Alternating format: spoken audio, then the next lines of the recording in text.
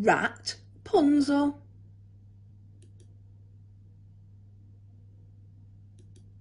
Characters Rapunzel, Mother and Father, Cruel Cat, Prince Ratdolph. Once upon a time, there were two rats who loved each other very much. One day, the wife became sick. Please fetch some special seeds from the forest for me to eat, she begged her husband. He did as she asked for two nights, and she began to get better. On the third night, the husband went back to the forest to fetch more seeds, but he was caught by a cruel cat. He begged for mercy. I will let you go if you promise to give me your first baby, purred the cat. Terrified, the husband agreed and scurried away. Time passed and the couple had a baby daughter.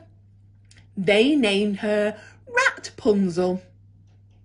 One morning the cat appeared. You must keep your promise and give me the child, said the cat, taking Rapunzel away. Rapunzel grew up into a beautiful rat with a very long tail. The cat hid Rapunzel away in a tall tower deep in the forest.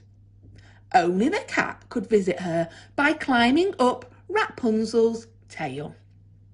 Rapunzel! Let down your tail! Rapunzel had a beautiful voice, and she would spend her time singing at the top of the tower. One day, handsome Prince Ratdolph was riding through the forest. Prince Ratdolph singing. Prince Ratdolph heard Rapunzel singing. He followed the sound and saw the cat climbing up Rapunzel's tail. Prince Ratdolph came back that night. Let down your tail, he called like the cat.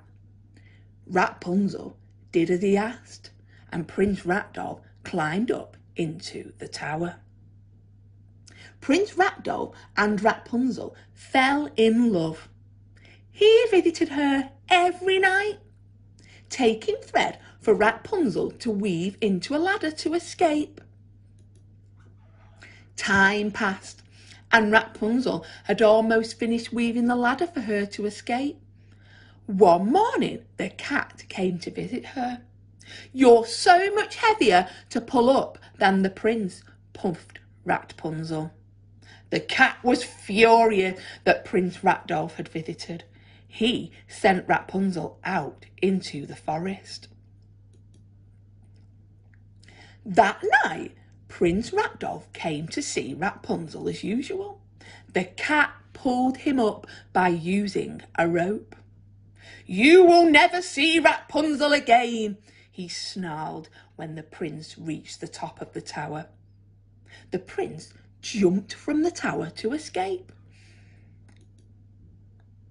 Prince Ratdolph landed in a thorn bush, which scratched his eyes and blinded him. He wandered in the deep, dark forest day and night, unable to see. But one day he heard a familiar voice singing beautifully. Prince Ratdolph followed the voice into a clearing where he fell into Rapunzel's paws. She wept when she saw his scratched eyes. Magically, her tears brought his sight back. Prince Ratdolph and Rapunzel were married and lived happily ever after. The end.